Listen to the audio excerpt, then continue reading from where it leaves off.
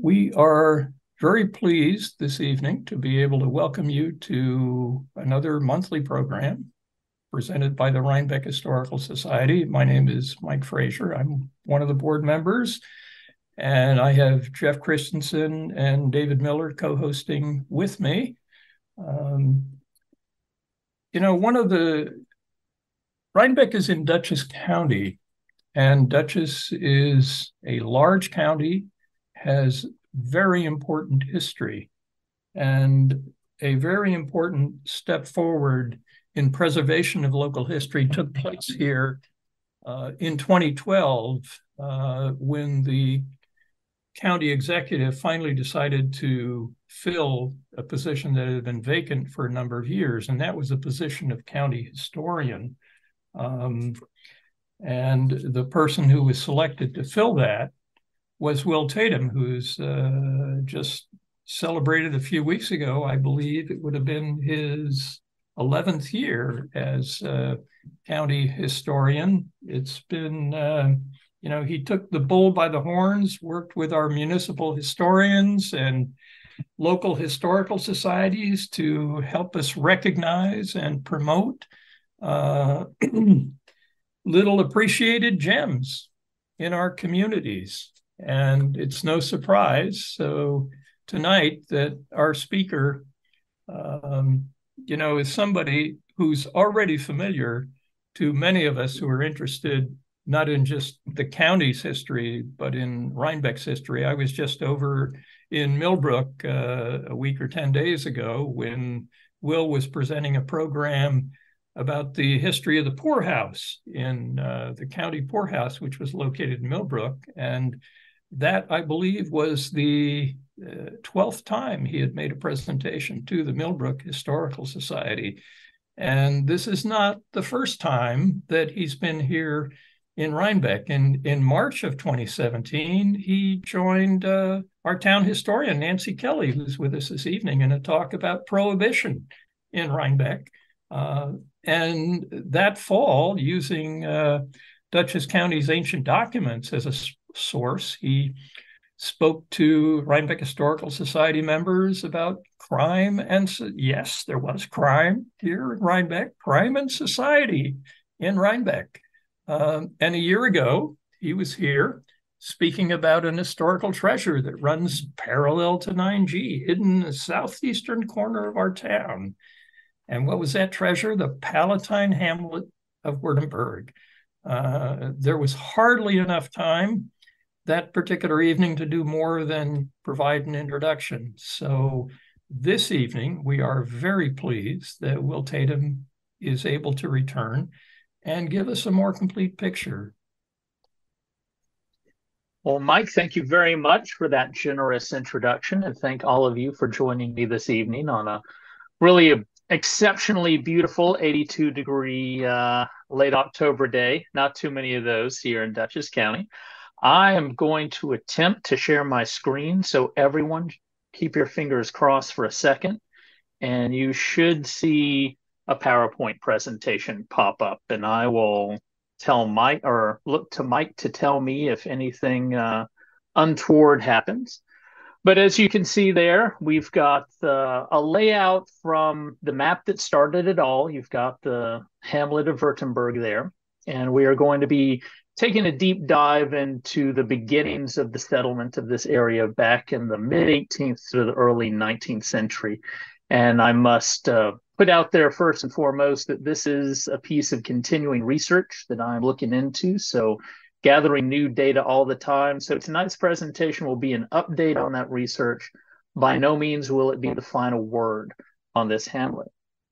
But before we get into the, the real core of the talk, I'd like to thank the folks who have made this presentation possible because any good piece of history really requires a whole team. And if you like what you hear here tonight and see here tonight, please think of these folks and if there's anything you don't like, that's entirely on me.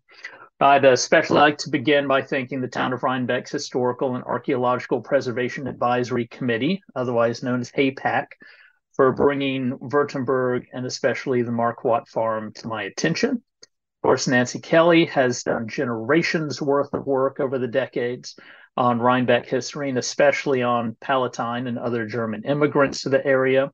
A big thank you to the Reverend Mark Isaacs of St. Paul's Lutheran Church of Rhinebeck, whose excellent book you'll see the cover of in just a little while, but that is available on Amazon. I highly recommend it for folks who want an overview of the hamlet's history. Phil Otterness is one of my personal favorite historians of the Palatine migration to America, or at least the New York branch, because he is now working on a project on the uh, New Bern, North Carolina branch, and you'll see the cover of his book. Melody Moore from the Dutchess County Historical Society is here with us tonight. And amongst all of the many things that Melody has done to help me develop as a historian, she actually put me on to one of the new to this project sources that we'll be going over tonight that really sheds a lot of light onto the experience of folks who were living in Württemberg in the 18th century. And uh, that source is, of course, maintained in the New York State Library, to which uh, the New York State Archives provides access. I also want to call out the Henry Hank Z. Jones collection at the Germantown Library. For those who don't know, Henry Jones is the foremost compiler of Palatine uh, genealogical records. I think he's got close to a dozen volumes in print, some of which were used for tonight's program. And thanks to Tom Shannon, the town of Germantown historian, you can now go out to the Germantown Library just over the northern Dutchess border and see Hank's entire research collection for yourself. Historic Red Hook provided access to materials, as did the Rhinebeck Historical Society. Dutchess County archivist Justin Mancini did a lot of the imaging that you'll see tonight.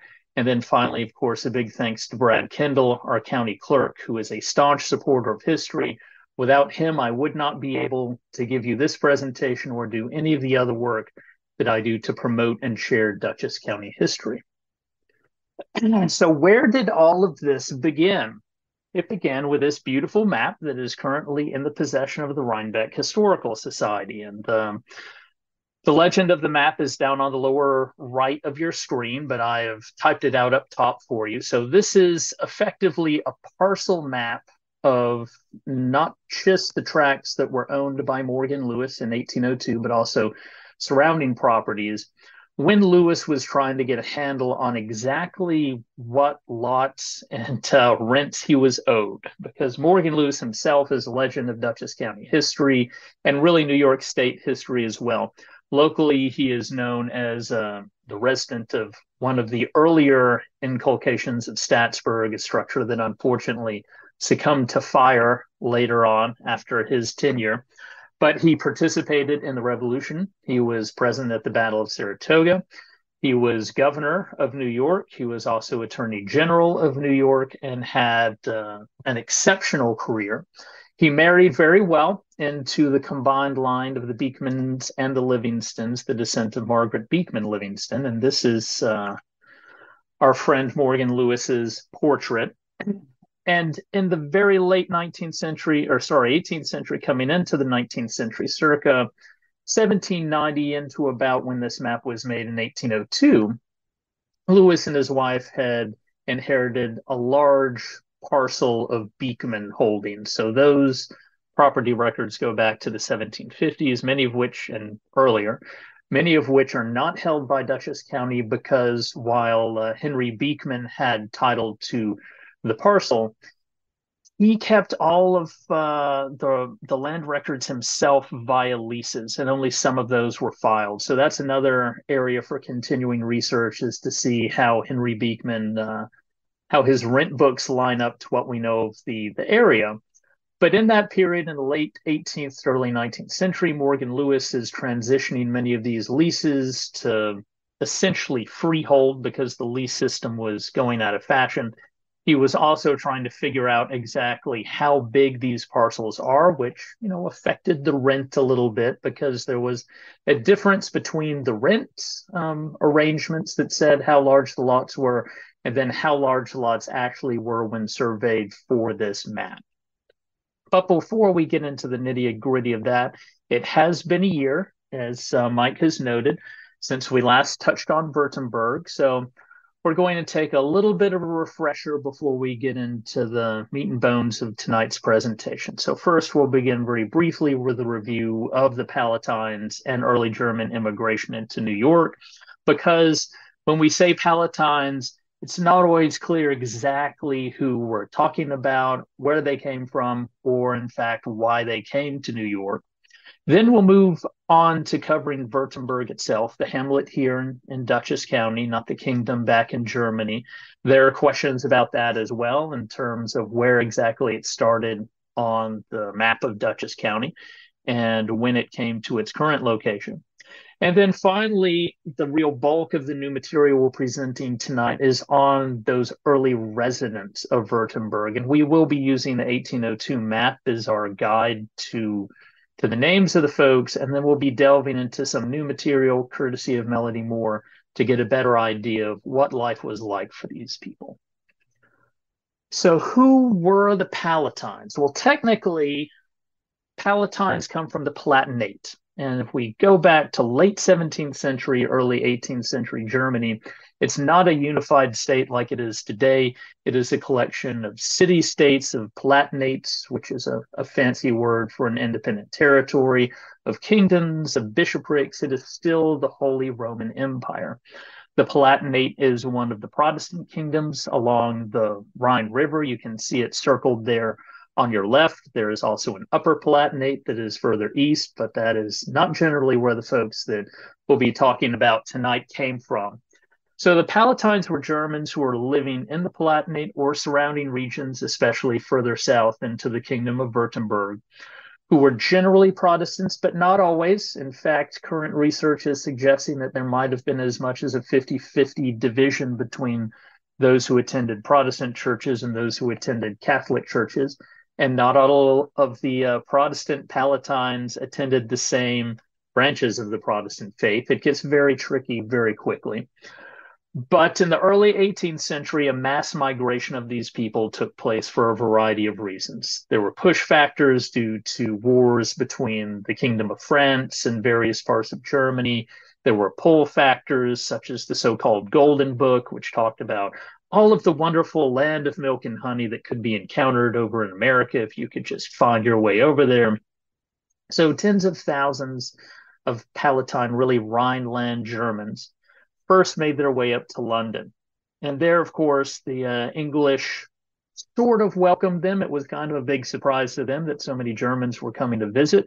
They ended up spending a couple of winters in tents along the Thames, which, considering this was still in the mini ice age was not the most fun experience certainly not something i would recommend and finally queen anne being the reigning monarch at this time said we need to, to find something to do with the folks who haven't already given up and gone back to the rhineland some of them went to ireland but the ones we'll be talking about roughly tonight went to new york and that's uh, covered by phil otterness as well as other folks discussing all right why did these people go to New York and what did they do when they got there? So this is an excerpt, a detail from actually a map of New England, but it's one of the ones I like that shows Dutchess County in the early 18th century. And you can see at the top of your map that it is marked Palatine's Town or Camp.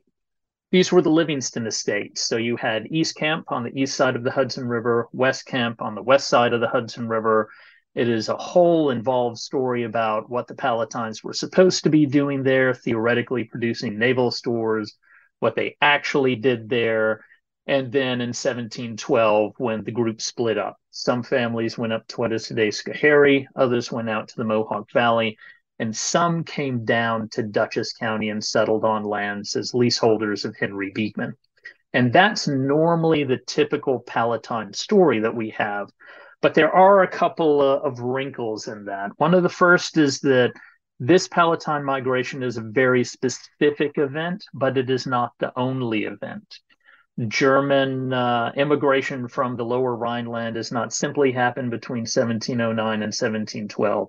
It is ongoing throughout the 18th century, and you'll see in the bibliography several excellent articles by our own Nancy Kelly that talk about how not only do we have Germans continuing to come in from Europe, we also have Germans coming in from other German immigrant communities in America. So sometimes uh, the Palatines here in Dutchess County send down to their comrades in Pennsylvania saying, hey, there's land available. Why don't you come up and take over for us? And then, of course, there are folks who come in after that initial Palatine immigration who themselves are not from the Palatinate per se. And that's kind of where we're getting into Württemberg. And they have a whole different story of settlement that doesn't involve hanging out with the Livingstons, trying to make tar from trees, and all of that other fun part of the original Palatine story. So now we turn to an overview of Württemberg itself. And there you see the cover of Mark Isaac's book. I highly recommend that one. It is available on Amazon. It's a very good read. The Reverend went through much of the source material that is available, including material from the 19th century, and has put it all together for you in a very well written, easy to read chronological format. So, why Württemberg? Well, the Reverend George Neff, who preceded Reverend Isaacs in serving the uh, St. Paul's Lutheran Church at Württemberg, put it this way in 1873. So he was discussing writing a paper essentially on the history of Württemberg, which gives you an idea of how long this topic has been under consideration, you know, back into the 19th century. He's talking about how the Palatines came originally down from East and West Camp, well, technically specifically East Camp into Dutchess County, the founding of Lutheran congregations, which by the 1750s, there were four distinct Lutheran congregations in northern Dutchess and southern Columbia County. And that among these folks, as you can see in the quote there, there was this group of people who had come over from the Kingdom of Württemberg, which is south of the Palatinate. Don't worry, we're about to get to a map on that. In Germany, who had shown up had pitched their tents in the so-called wilderness and uh, were set aside from the Hollanders, the Dutch, who dominated in the area, as Württembergers, and that's where the name comes from. So if you look at this section of the 1802 map that's on the left side of your screen, and you look closely, I'm hoping that everyone has a big screen tonight, but if you don't, lean in a little bit, it'll be okay. You'll see the post road, which is today's Route 9, running through the middle of it up there where it says Janet Montgomery, you're getting into what is today the village of Rhinebeck. And then further south here, we where we have Stephanus Fraley, and you'll see that in the enlargement on the right side of the screen. That is our best guess about where the Württembergers initially set up their church, at least. And uh, we have some information that I'm going to get to on that in just a second, but fix that in your mind. So the Hyde Park town line is right at the bottom of that image there. So it's pretty far south. You have what is basically today Mills Cross Road here going on the south. And then, of course, the road over to Rhinecliff. And there are still remains of those grist mills and sawmills where the Rhinecliff Kill comes into the Hudson today. So if you're wondering, where is Württemberg? Well, here we go. On the left side, you have a map circa 1720 of the Kingdom of Württemberg. Up here on the upper left, the Palatinate is underlined. That's Mainz up there in the Palatinate. You start to get into Württemberg, the kingdom with Heidelberg. You've got Strasbourg here, Baden, which is today Baden Baden. And if you go over to the modern political map, you'll see some of the same stuff. You've got Strasbourg here, you've got Heidelberg up here. So this whole sort of southwestern chunk of Germany is Württemberg. I doubt that all of the folks we might call Württembergers in 18th century Dutchess County came from throughout that area, probably more along the Rhine River Valley here, because much of this is mountains. And of course, the Black Forest, which gives us the best cherry cake, cherry chocolate cake on record. So, where does our evidence come from for saying that, okay, Württemberg, the settlement actually started pretty significantly west, you know, maybe a couple of miles as the crow flies, but on the map of Dutchess County, a significant amount of space. Where are those sources? Well, we have the Reverend Henry Melchior Muhlenberg, who was the head of the Lutheran Church in North America at that time to think. He came up in 1750 because of problems in those four congregations, courtesy of Johann Christophels Hartwick, who was their minister who had arrived in 1748. And Hartwick is his own multi volume story of an adventurous and controversial life. but he was not getting along with his congregants. In fact, he was getting along with them so poorly that the head of the Lutheran Church felt that he needed to at least come up and check out the situation. So he notes that uh, he arrives in September of 1750. He visits each of the four congregations. And as you can see from the excerpt there, on September 17th, he visits the smallest congregation at a place called Staatsburg, which is roughly still Staatsburg today, going into part of southern Rhinebeck, about eight miles from Rhinebeck. He holds services there. And then the following day, he transfers his baggage down to the river and catches a boat back to New York City. And you can read his commentary there about how he did what he could to set a good example in Hartwick's congregations to try to mend relations between the minister and his parishioners. But uh, things did not necessarily turn out as well as he had hoped because a mere almost four years later, not quite, we have this document from the Dutchess County Ancient Documents Collection, and that's our court records from 1721 to 1889. This is part of an indictment for assault on May 21st, 1754, where four parishioners all testify that Johann Christoffel Hartwick, and this all took place in the northernmost of the congregations, if my memory serves me correct, had beat and physically assaulted and indeed even used a horsewhip horse whip on uh, several of his congregants and beat them out into the road. He was indicted.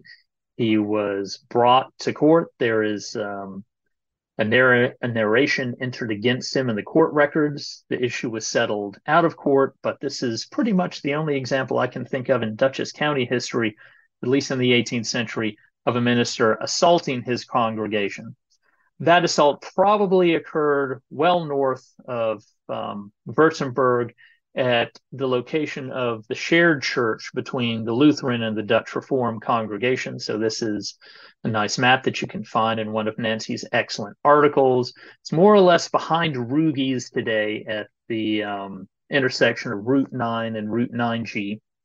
And to give you an idea of where that stands out, that church is no longer extant, by the way, but the graveyard is still there. You'll see it if you're going north on your upper right. It's a little bit more difficult to catch if you're going south on Route 9 out of Red Hook. But this gives you an idea of where that is geographically. This is the 1797 Thompson map, of which there are four distinct copies in four separate collections. This is the one from Bard University or Bard College, which I find particularly good because it has the most details of all four of the different versions of the map.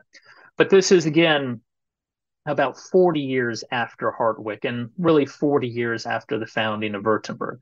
So you see up here that intersection, which of course was adjusted slightly when Route 9G was put through in the 1930s, but you have the German Calvinist church, which would have been probably the location where Hartwick assaulted his parishioners and drove them out into the road. Today's old stone church is noted here. Rhinebeck Flats is the modern village of Rhinebeck, and you'll see labeled here is the Low Dutch Reformed Church, the Reformed Church of Rhinebeck. And then the area we're talking about is circled up here in the upper right. This is Württemberg with its German Lutheran Church in the center. And then if we were to look down here, it would really be down in sort of the lower right-hand part of the map where historians have placed that first church where uh, Muhlenberg gave his sermon and uh, where parishioners also had a problem with Hartwick. And of course, for those who don't know, Hartwick College in Oneonta is actually named for Johann Christophel Hartwick. In his will, he gave a very generous donation to underwrite the establishment of a Lutheran seminary out there. All right, so we're going to take a, a somewhat closer look here, situate ourselves. Before we get to the 1802 map, the 1797 map is the most detailed, earliest map we have of this area. Württemberg, even though it is not noted as such, is this settlement up here along what is today Württemberg Road. It is aligned, as you can see, this map is tilted so that north is to the left, south is to the right, um, east is at the top, and west is at the bottom. So the German church is at the center of this establishment, and then the settlement itself extends out north and south. There are some sort of crossroads here. They're not the classic Dutch or English four corners arrangement, but that's one of the things that we look at and that this map shows. When you look at Rhinebeck Flats, which is a pretty classic example of uh, Dutch or English layout, you have a very clear crossroads here. You've got a church roughly on one of the four corners. You'll have the Beekman Arms on another one. That's a classic English Dutch form of settlement. The German settlements that we see, whether it be up at Old Rhinebeck or whether it be here at Württemberg, tend to be very linear. They are not laid out crosswise, and they usually have a church in the center of them. So now we will move on to the crux of tonight's presentation. Again, this is the 1802 map. We've zoomed in to Württemberg itself because the Morgan Lewis map shows basically all of southern Rhinebeck. And uh, we've tilted it a bit so that you can compare it to that previous shot from the 1797 map. So same way, you've got your Lutheran church up here. You've got a Marquardt uh, Inn, evidence of the Marquardt family being here. When we look here, the church is still in the center. It's rendered slightly smaller. We have Marquardts to the south at the uh, southern end of the uh, settlement. And then we have some Wagers, Pulses, and finally, we'll talk about the burgers at the end there, and Jacominji's Vlaai. And I apologize for, I'm sure, butchering that Dutch. That's as close as I know how to come to that pronunciation. So if we flip that map up to the way it's actually oriented, Morgan Lewis, being a proper fellow, made sure that his surveyed map had north at the top of the map instead of at the side of the map. You see again Crum Elbow Creek, which marks basically the division between what is today and was in 1802. Well, not technically in 1802. That is an update. No, yes, technically 1802. Clinton is 1788. But you have the border with the town of Clinton. You have what is still today Württemberg Road. You have the Vlaai, and uh, we'll touch on Vlies a little bit later. And then you have the layout of all of these lots. In addition, if you think back to the big version of the map, which is really tremendous, uh, a great physical artifact, down in the lower part underneath the title of the map here is a key that gives an account of the folks who are occupying these various um, plats and also the real purpose of the map, which was to try to rectify the lease records, which would have been held privately. Those are not things that are normally on deposit with us at the county. In terms of how many acres does the lease say that this individual should be occupying, and then survey it and see exactly how many acres there are, try to figure out what the difference between those two numbers is, and then just default to the actual number of acres that is being uh, that has been turned out in the survey. And at the very bottom, this key goes on for a rather lengthy period. It notes that unless otherwise stated on here, these leases are for perpetuity, they're forever. So you can see, for example, John Ostrom has a lease for three lives.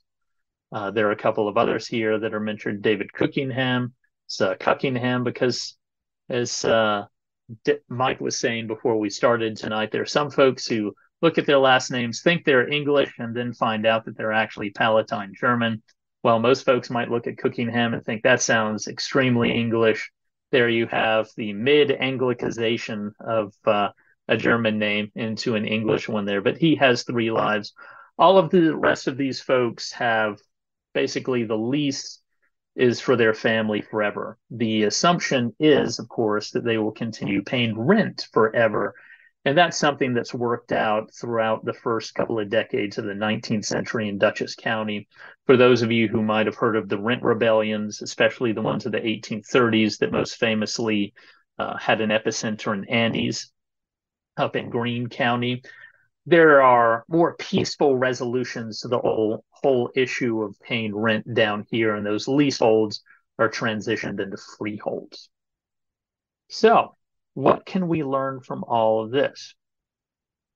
All right, so there again is a close up for those who want to see it about how the uh, general accounting, what I call the map key works, where you have per survey, 253 acres, but the lease is for 235 and a half. There's your surplusage, but we're going to stick with 253. And it counts all sorts of things. So here under the Marquardts, for example, it counts their wood lot as a separate lot from their actual home lot. And then you see over here those forms, those farms that are held under lease are forever unless otherwise expressed. So we have a new source that is brought in thanks to Melody Moore. And Melody and I meet every other week to discuss a bunch of interesting things that are always going on in Dutchess County history. And at one of those meetings back in 2022, Melody said, Have you ever heard of the DeWitt family papers up at the state library? And I had not heard of the DeWitt family papers up at the state library. The state library has done an excellent job over the years of either accepting family donations of papers or back in the 1970s, purchasing them from um, manuscript dealers with the result that there's an outstanding amount of material up there but the contents don't always leap out at you. And she said well i was looking at the dewitt family papers. I saw some stuff about justices of the peace and court records. I know you're interested in that. And then i also saw some things about account books. And those of you who know me know that i really enjoy the material culture aspect of our history. I'm always interested in what people were buying and selling in Dutchess County. So if you have court records, if you have store records, you probably have my attention. So I went up to, um, to Albany to the Cultural Education Center where the state archives and the state library reside. The state archives provides access to anything that you might want from the state library, but you have to request it through the state library uh, website there. And I called up the ledger books from the DeWitt family papers. And, you know, these are unassuming volumes. This is volume A, which is the earlier volume, which we'll mostly be looking at tonight. And then this green covered and beautiful brass clasped volume B goes a bit later. Volume A ends around 1760, and volume B takes the accounts from 1760 on up into the late 18th, early 19th century. But when you open these up, you have what is called double entry bookkeeping. And I know a lot of people who look at double entry bookkeeping and say, oh my God, it's terrible. I don't find it too bad. It just means that you have to do math a little bit differently. How it works in the 18th century is this. So on the left side, you have some form of note that this is all the stuff that has been purchased on account. In the case of uh, ledger A, they call it debtor. In other ledgers, you'll see debt or debit. And on the right side, you have the credit, in this case, creditor. And the idea is that by the time the accounts are rectified, both of these sums, all totaled up at the bottom, should come out as the same. On the debtor side, you have all of the things that in this case, Michael Poltz, and don't worry, we'll be coming back to this in detail, has purchased from DeWitt because Peter DeWitt, among many other commercial concerns, ran the store and also issued credit. So these are things that were purchased from that store. And then on the right are the things and the cash payments that the customer would offer in order to clear his credit account. So we're going to combine that with material from the 1802 map and a couple of other sources to begin now to think about all right, who are these people and what is their life like in 18th century Württemberg over there along Württemberg Road? So we're going to start at the south and work our way north. And the south gate of Württemberg is dominated by the Marquardt family. And in fact, uh, a Marquardt farmstead still stands in a much altered condition now at the bottom of Württemberg Road, where it transitions from being a public road to a private road. So remember, don't drive on a private road without the landowner's permission. But here in 1802, you had two lots. You had George Marquardt's lot at the far south, and then Johannes Marquardt above. George Marquardt, of course, has leased his uh, land there excuse me, to Johannes Marquardt for those of you who are reading the red letters. But let's dive into some details. So, George Marquardt's lot was leased to Johannes on May 1st, 1791. It contains 212 and one quarter acres. So, this is a sizable farm. It's not what one would necessarily call a, a, commercial farm of the 18th century, but it's a step beyond subsistence. It's able to turn out stuff that can also be sold, for example, to cover your debts at the local store. When we step up a moment and we see from uh, Dutchess County Clerk's documents, this is one of the areas where we actually do have land records for the the parcels here. And this is the indenture that was made by Morgan Lewis to uh, Johannes Marquardt in 1791 to formalize this lease transition of all right, now Johannes is going to be paying for George Marquardt's lot. You'll see me have a lot of facial Olympics tonight with all of these names. The interesting thing for me that comes out of this document is it gives us an idea of what all of these folks are doing with these lots. So Johannes has his own, which we'll get to in a moment. And he also has this 200 acre additional. What is he doing with it? He is going to be farming wheat because that's what he's paying his rent in. It's 24 bushels of good, sweet, merchantable winter wheat. Tells you a lot about the availability of sugar in the 18th century if they think that winter wheat is sweet, but you know, you make do with what you've got uh, where and when you are, as well as providing, uh, as you can see at the bottom, one day's work with a wagon, sleigh, plow horses, etc. So you're going to be paying your rent, at least in this case. That does vary across the county.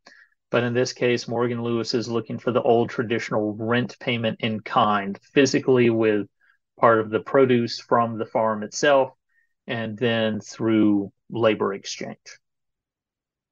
So moving on, we then have Johannes Marquardt, his own lot right above.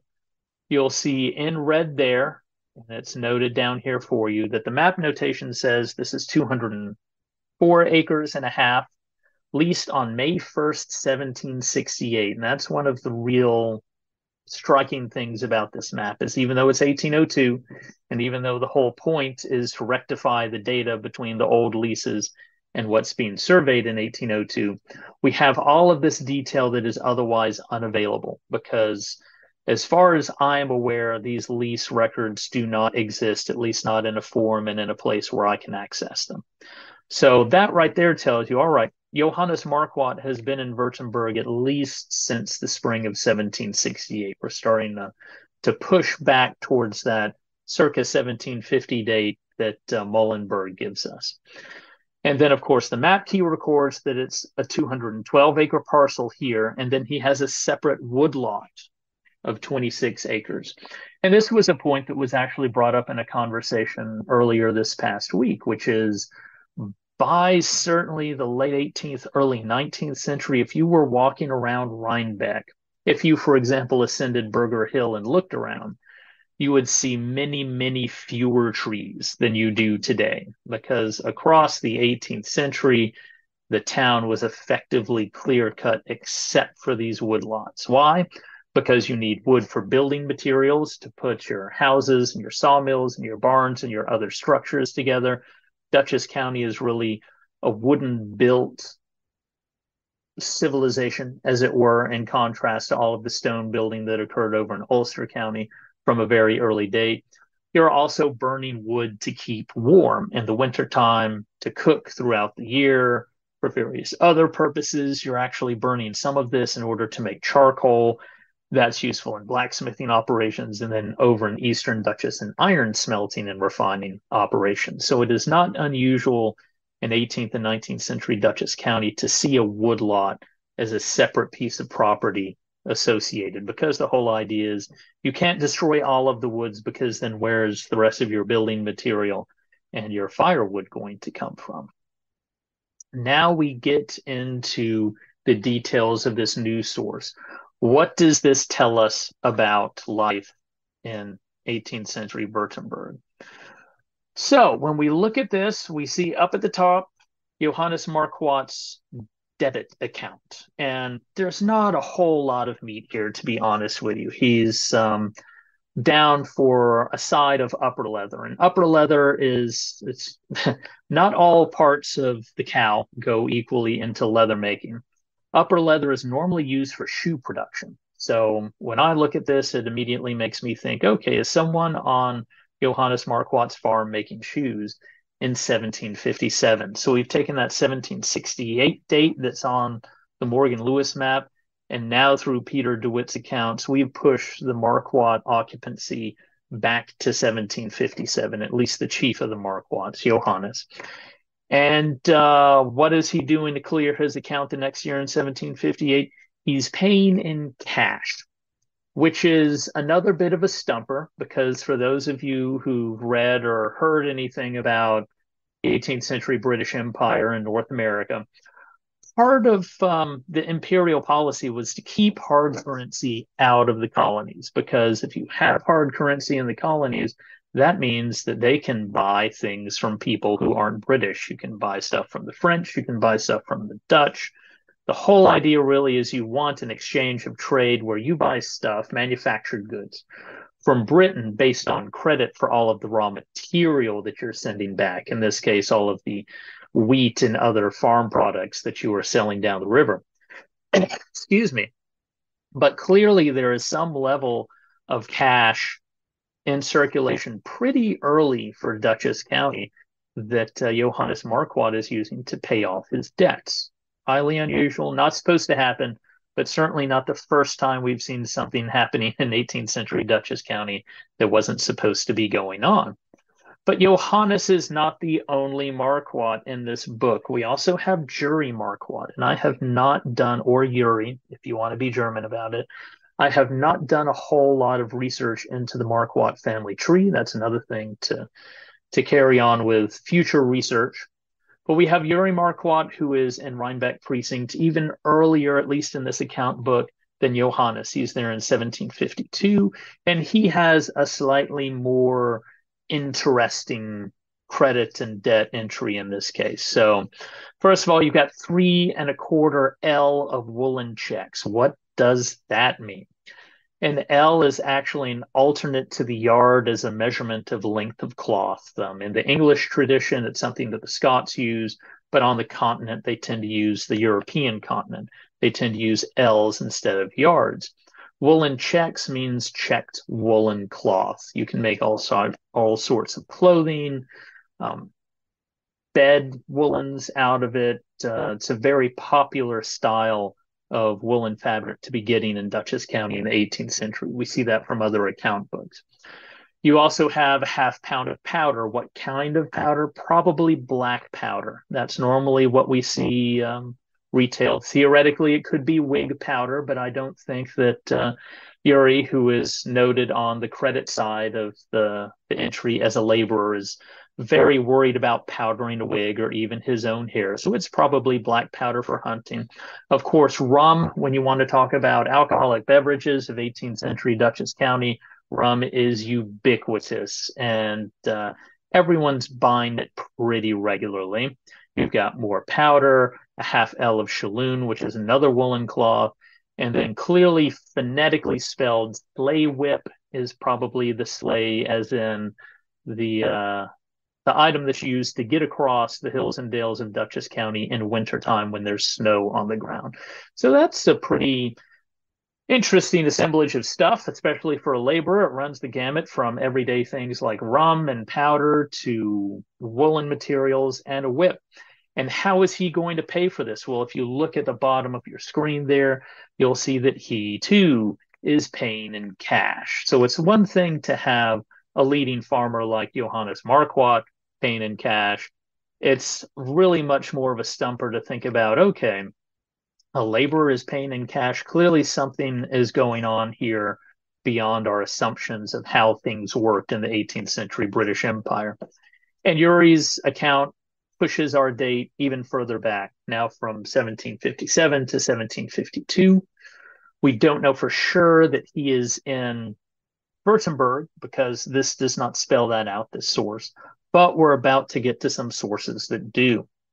So, heading further up the road, our next stop are the Wagers. And they are still here with us today, but you can see that Michael Wager has a lot on the east side of Württemberg Road here, south of the church.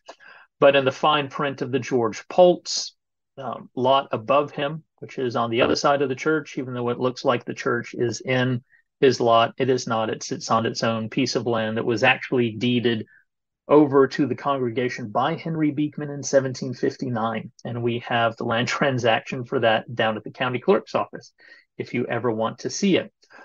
But here we have the notation that George Poltz's plot has been leased to Miguel, probably Michael Poltz, 1st of May 1769. So again, we're pushing back 1802 to 1769. The map legend notes that we have one Uh, parcel here of 94 and a half acres. And then if we look over here, we see another Michael Wager notation of 19 acres adjacent to the Vlaai. And we'll get again to the details of the Vlaai later. So he has two.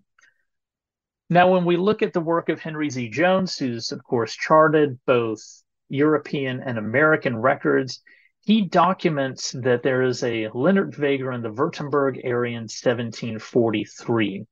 Now, I took that originally to be here in Dutchess County in 1743. It could be that that was back in Württemberg itself, because all of the names we're talking about tonight, if you do an ancestry search, for example, the Marquards, the Poltzes, the Vagers, they all pop up in um, Lutheran church records back in Württemberg. So it's pretty clear that all of our conjecture about, all right, these guys are called Württembergers and their settlement is called Württemberg because they're from Württemberg is finally borne out. Now, for those of you who might have uh, taken note at the beginning, that map is titled the Wittenburgh Tract. And thanks to um, a researcher that actually came and is currently visiting several of the institutions in Rhinebeck who came over from Europe, we have been advised that uh, Wittenburgh was the Dutch uh, version of Württemberg. That's what they tended to call Württembergers. So that potentially explains why we have this difference in terminology with this map. But 1743 in Dutchess County, that's earlier than we thought for the establishment of this Württemberger community, but it is not necessarily surprising because we have other elements, including, I believe, some of Nancy Kelly's work that point to Germans coming up from Pennsylvania into our communities around about that time. So there's a lot more communication than most folks would probably suspect between the different German groups geographically spread across America. So, what does the uh, Ledger A of the DeWitt papers have to tell us about the Vagers? Well, we have Leendert Vager here, and he is, of course, noted at being not in Rhinebeck precinct, but at Yakiminie Vlaai, date 1750. So that's right when the Reverend Muhlenberg is here preaching. But of course, Yakiminie Vlaai is not over along the post road. It is uh, basically today's Route 9G runs right through the middle of it. It's the major geographical feature. And uh, you'll note today that you are driving through the Vlaai because you'll see the sign for Vlaai Road. So, what does Leonard Vager have to tell us about 1750 in the uh, Württemberg area? Some interesting purchases here. So, 32 and a half pounds of deer leather. Seems like a lot of hides of deer. What do you do with deer leather in the 18th century? Well, one of the things you can do with deer leather in the 18th century is make the 18th century version of blue jeans, which are leather breeches, almost exclusively made out of North American deer hide to the point of when you might think of Daniel Boone crossing the Appalachians out into what is today um, Kentucky and Tennessee.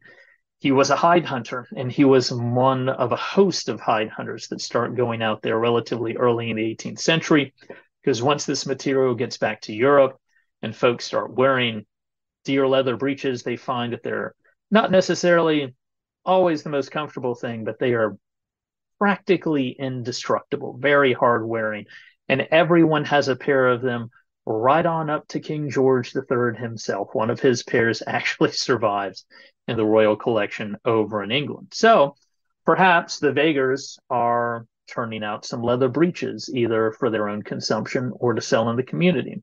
He's also buying pepper. If anyone tells you that they didn't have all of the basic table condiments in 18th century Dutchess County, don't believe them because we have a host of store ledgers in addition to this one that show that pepper is being purchased along with sugar.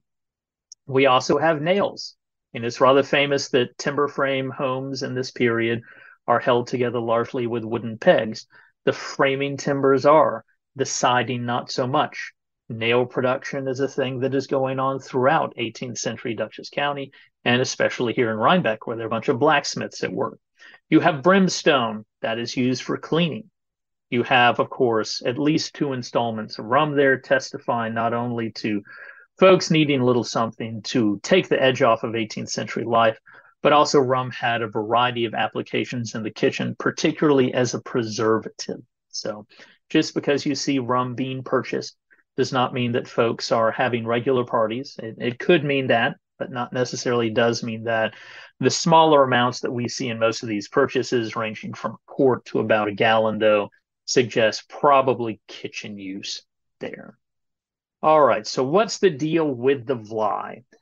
If you have looked at any of the 18th to really the 1840s maps of Dutchess County, you will see, especially here in Northern Dutchess, you will see Vlaais all over the place. What is a Vlaai? I asked that to our Dutch researcher earlier this week, and she looked at me as though I had three heads, which is really not an unusual reaction when I ask a question. But it turns out that evidently this word is not in common usage in modern Dutch. It translates to basically a seasonal pond. So part of the year, you're actually going to have standing water for a pond. The rest of the year, you're going to have a marshlands wetland situation. They're dotted throughout northern Dutchess and are frequently used as landmarks and sometimes as lot barriers. In this case, thanks to the 1802 map, we know why this Vlaai has a name. It is named after the wife of Jan Elting, who has one of the earliest, and I miswrote it there. That is not January 27, 1789. That deed is from January 27, 1689. And that's freehold. This is a relatively rare example of an individual who is not a patentee. So he was not, for example, one of the nine partners that had tens of thousands of acres. He has um, 191 and three quarters right there, but uh, still has it freehold. He doesn't owe anyone any sort of rent except paying taxes to the crown, which are quit rents.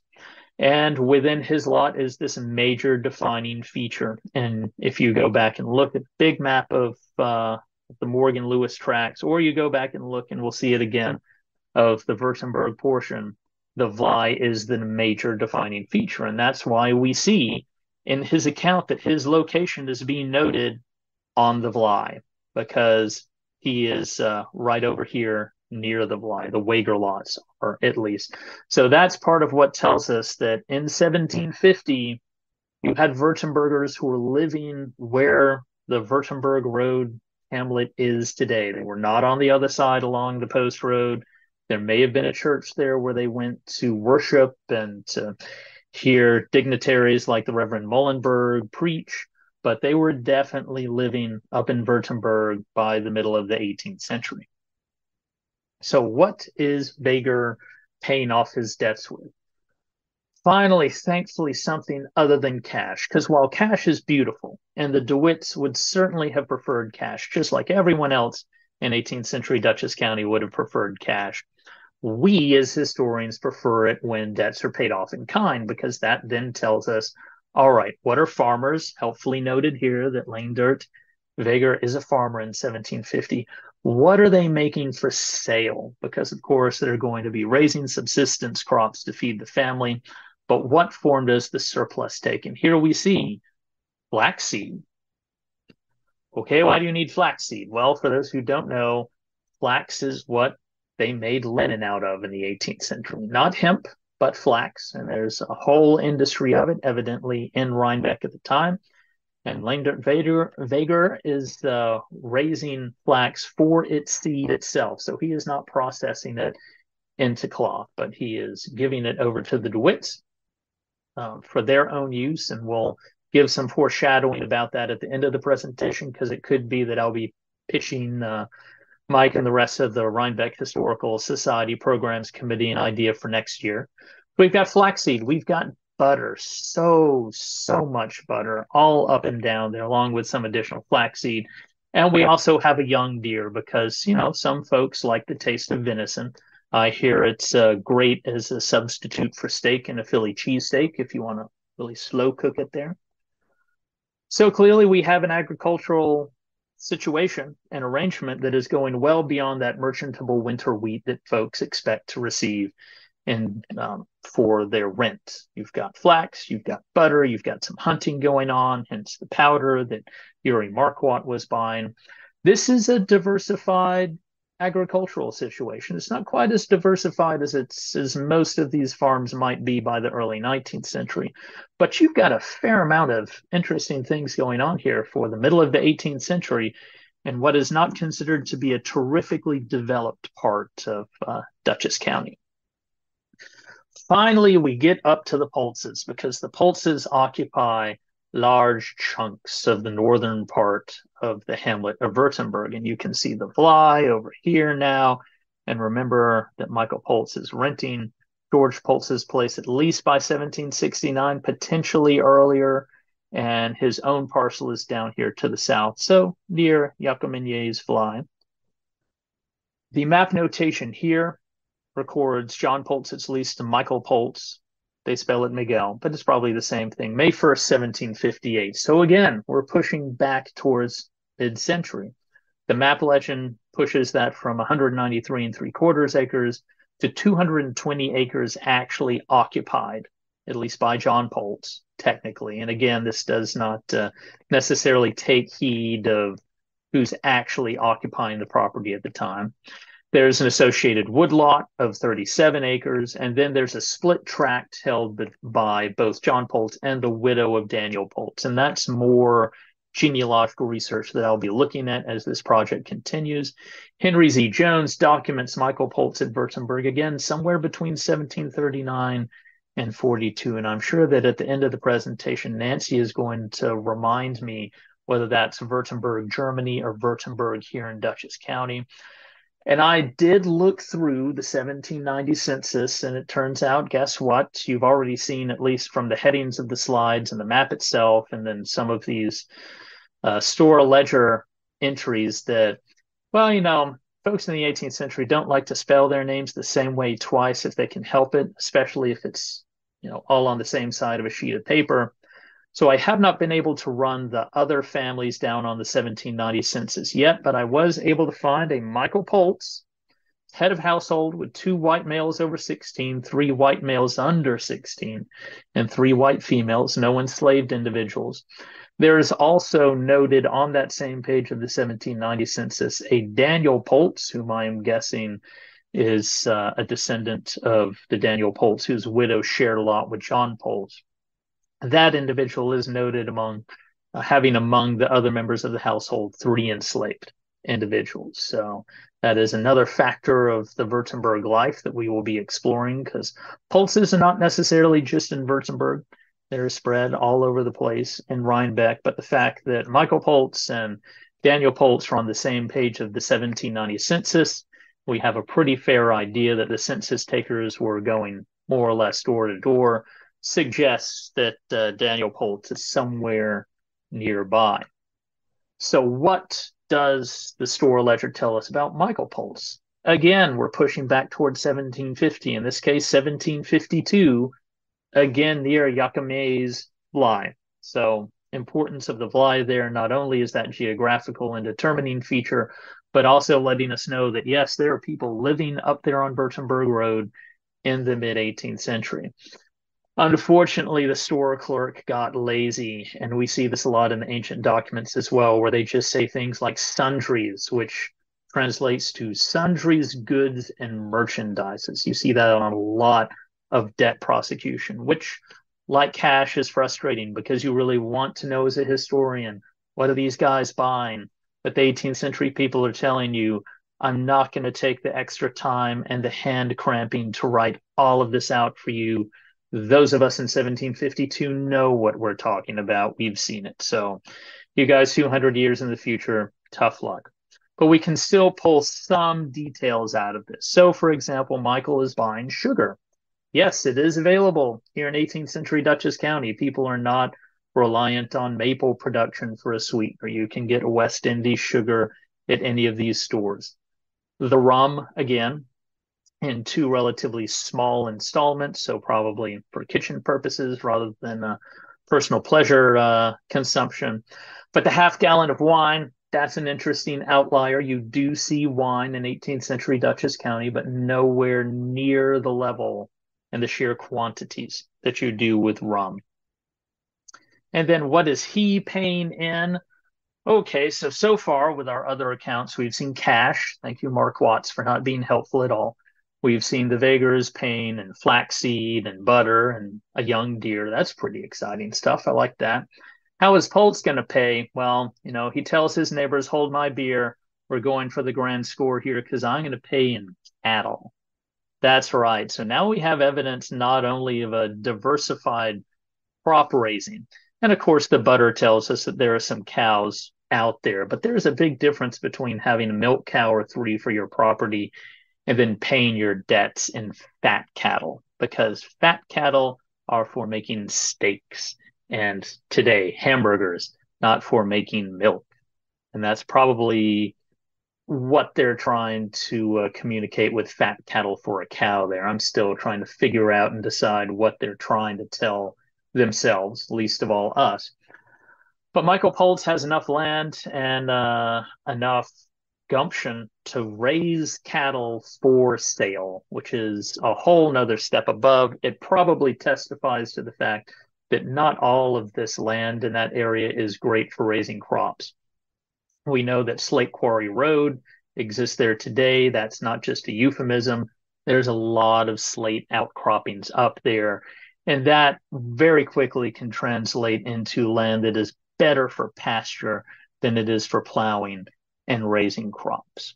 So we're basically at the end of our presentation today. We've gone through the parts of the accounts that really pertain directly, at least that I can quickly trace to Wurtemburg. But just to forestall the inevitable question here, where is Burger Hill? So Burger Hill is up here then as it was today at the head of um, Wurtemburg Road.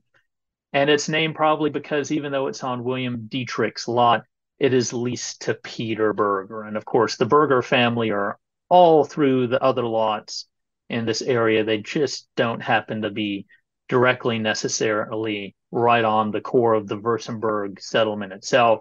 And unfortunately, Peter Burger does not have any accounts that I can trace with Peter DeWitt yet, but it is something I'll be looking into as research continues.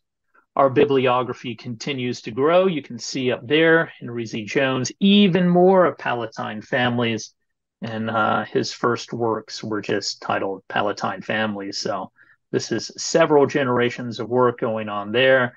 You can see Nancy Kelly's many excellent articles. This is just the tip of the iceberg of Nancy's enormous body of scholarship that she's generated over the years. And of course, her husband, Art Kelly. And if you look for kinship books, you'll see his work has really outdone himself with transcribing many of these 18th and 19th century church records, including the Wurtemburg church records, so that you do not have to squint and turn your head to the side to try to figure out what the Reverend meant in 1753, because Art has transcribed it into nice print for you.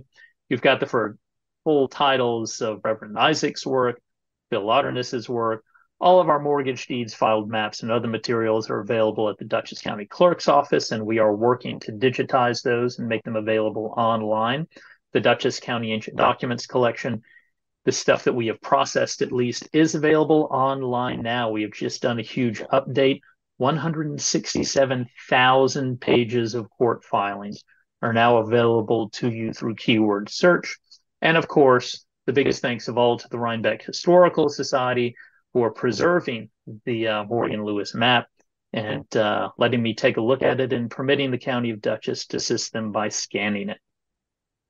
So that is all for me tonight. Uh, that's how you can contact me. Email is always the best. You can find my government webpage there at the bottom, dutchessny.gov forward slash history, has a variety of resources, including a great directory of local historians. And uh, thank you all. I'll be happy to take any questions that you have. And at this time, I will stop the share. Thank you so much, Will. And even though we have a magnificent uh, Morgan Lewis map, the credit goes to Will Tatum for arranging to have that scanned for us. And we've had uh, a number of occasions where researchers like yourself will have taken advantage of that. And it makes a big difference uh, if you have artifacts like that. Uh, you know, they're not doing any good if you can't share them with others. And you have shared this evening some really magnificent uh, putting together these disparate parts. Uh, I was not aware of this ledger um, in the state archives. And Melody, thank you for having pointed it out to Will, and Will for uh, drawing all these uh, details that tell us so much more and make Wurtemburg uh, much more lively a community. And now we know what was happening there, who was growing what, who was doing what with that land. Uh, it's it's a much clearer picture of what's happening, and I assume you're going to be doing some more work with those ledgers. All right, I will, and and when you look at all three of them, and again, kudos to Melody because they are not called out in the finding aid as like, hey guys, look at this. They contain enormous amounts of exciting material. They are literally listed as Ledger A, Ledger B, Store Journal. But a, a possible future topic, Mike, for the program committee to consider is the uh, the intricate web that Peter DeWitt wove throughout not just Rhinebeck, but the entirety yeah. of Dutchess County, because those three books, and remember, folks, we only touched on part of one of those books. It's a whole lot of data that shows that there's a lot more going on in 18th century Rhinebeck than I certainly expected. Well, we'll uh, David Miller, who's responsible for putting together our uh, uh, scheduling our programs and lining up uh, speakers, is with us, I believe, still this evening. And I'm sure he's making note of your offer and that we will certainly be back to you. So, Jeff, I know you've been keeping an eye out for any raised hands or chat comments. Uh, and if uh, we have any of those, could you turn us over to those individuals.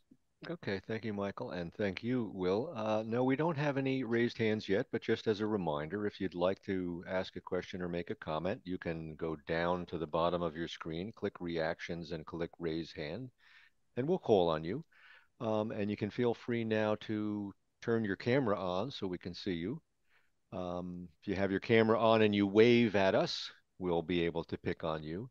But also, um, if you just want to ask a question, I think now you might feel free to unmute your microphone and uh, and then go on ahead, and we'll see if we can bring you in.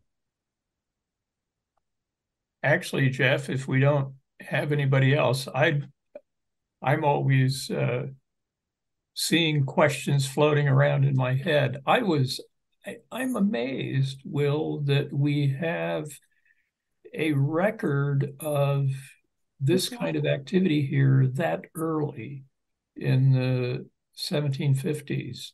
Um, and you know, I I would have expected at least uh, you know 20 years later. I know the original Wurtemburg Lutheran Church, as you pointed out on that map, was closer to the uh, Albany Post Road, the present Route 9, right around, we, we don't know exactly where it was, I guess, uh, but that it, around where the state police barracks are located today, at the south end of the four lanes, uh, right near the border of of uh, where those four lanes come back to two lanes, right near the border with Hyde Park.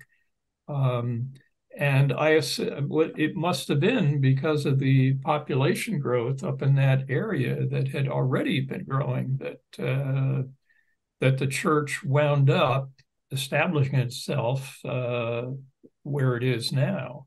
Uh, that that that location down closer to the post road, even though you would think that all the you know whatever traffic was going on the post road would be an inducement to build your formal your, the magnificent church that's there today to build it there but no uh, and i and what your documents, I think, show us is that indeed there was, uh, you know, the kind of activity that was going on there justified uh, moving uphill and moving uh, up to what we now call Wurtemburg Road. Mm-hmm.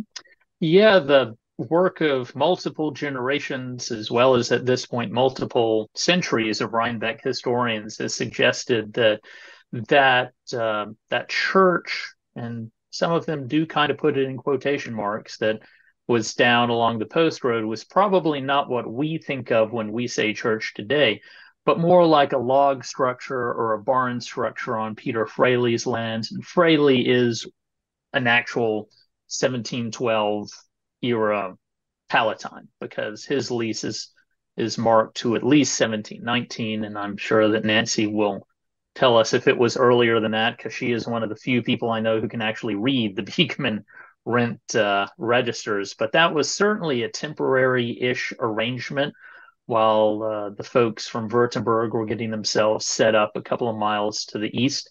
It wasn't so far that they couldn't walk it, especially by 18th century standards, but clearly they were in some form of negotiation with Henry Beekman to to get that deed to not just land for the church itself, but also a common, and then another uh, piece of land that was attached, not directly, but was across the Vlaai for the upkeep of the church. So basically, a woodlot for the Wurtemburg Lutheran Church. But I was also surprised at how early this material was. Um, Jeff, jump in if if you see uh, or others have questions. Uh, I I can keep asking questions all evening here. I well, I'd actually. We don't, I'd we like don't to call any... on. I'd like to call on Nancy Kelly because uh, I see that she is unmuted herself, and Nancy always has great things to say that give me a better understanding of the topic. So, Nancy, any thoughts you want to share with us tonight? Well, I think we should be looking more into the original um, uh, the Palatine, the Wurtemburg Palatines actually came to to the U.S. through Pennsylvania, through Philadelphia, and then were encouraged to come up and be able to rent land here on the on the Morgan Lewis lots. Um, and so that they probably came in the night in the 1730s and then um, got up here to Rhinebeck fairly soon after that because of um, interaction maybe with the original Palatines that were already here. Excellent. Well, I'm, Do you know? I'm happy to look at. I'm sorry. Go ahead. Um, no, I'm just happy to hear that Nancy supports my suspicion that there was a lot more communication between the various. You know, we call them Palatines, but really German because of the area that they drew from back in Germany. These groups that came over weren't just all right. We're in New York, so we're not going to talk to anyone else. I suspect they were in pretty constant communication from the Hudson Valley down to Philadelphia and its hinterland, probably down to North Carolina as well. And now, as a result, we're talking about another example of how Dutchess County is part of a wider network, even that early in its in, in its existence. Yes, yes, yes. Go ahead, Mary. Go ahead, Mary Ellen. Hi, Will. I'm sorry I missed the seven o'clock start of your talk. But you know, I'm working right now on the the Orange County Montgomery group of Palatines, and yes, everything you're saying, you know, it's sort of like that old joke about you know, tell a woman and telegraph, tell a woman.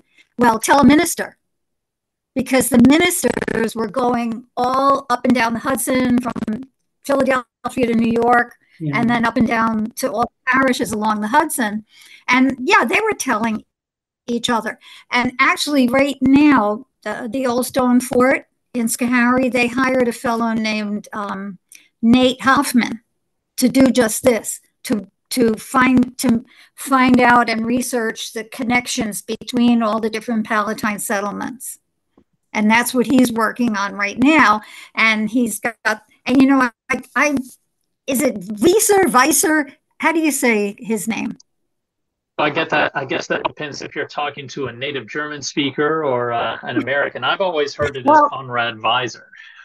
But uh, okay, so he and one of the ministers, just like a couple of short time before he died, so it was like 1760, they were traveling around and going over even to Ohio territory, and you know this whole thing was going on. They were communicating between all the different com- communities. So, yeah, what you're saying is absolutely true. Excellent. Thank you, Mary Ellen. Mary Ellen. Yeah, I, well, I'm, go ahead. I'm curious. You you say you're working researching the Palatines in Orange County. I mean, I was aware right in Newburgh that uh, there was a group. No, that... Montgomery. Montgomery. And my big theory that I can't prove right now is that it had something to do with, like, why did the Palatines come to this lower part of the Hudson Valley, um, which was had not totally different from the experience on the east side of the river. So on the west side of the river, they could be they could do a lease, but then they could buy. And so they bought their farms very early on after being leasing for five years, 10 years, whatever the requirement was. And I think Francis Harrison was the connection because he had a patent here and he had a patent on the Mohawk next to Stone Arabia. So I'm just trying to, if I could even get one little sentence that said, yeah, there's the connection, that would be great. where he said, Come here. And coming here to the lower mid Hudson Valley, um, these guys lucked out. Just get your farm, spend a little, you know, spend a little cash, guys, buy the farm, and all you got to do is farm. They weren't attacked by Mohawk Indians. They weren't settling old land claims that were, you know, not proven and all kinds of stuff. All they had to do was farm. Had a good life. when when you say very early on, how how early are you talking? Well, Harrison got his patent in 1720, and then I don't have the the 1735 document giving deeds to the Palatines that were starting to get ownership deeds 1735, but they were already here because the 1735 patent mentions them already being here in like 1722, but only a few, not a whole lot. But then the numbers increased. When you're saying, Nancy saying, coming up from Pennsylvania, um, some of them can either maybe came through Philadelphia or came from New through New York. But then I don't know, Nancy Kelly, do you know anything about a later migration, like just at the time of the revolution, 1770 ish, where um, Palatine families were coming from Pennsylvania up into Orange County. And I have documents of them being in, in Pennsylvania, and I don't know why they left and why they came here at that later date. And then they went to the Poconos. They didn't stay, for 10, 15 years, and then they moved on to the Poconos and I think it had something to do with Lutheranism. Nancy, any response? Uh, well, just that I think that um, their their opportunities in Pennsylvania weren't so great, and they um, came to understand that there were better opportunities in New York State. At that later time? Or earlier? I guess in the 1730s. Mm, but this group came later. So I don't know why they they there seemed to be a migration in Pennsylvania where they were moving up into Northampton County, which then of course became divided up into smaller counties later, but they wound up in Wayne County. It it sounds like there's uh, some additional research opportunities here.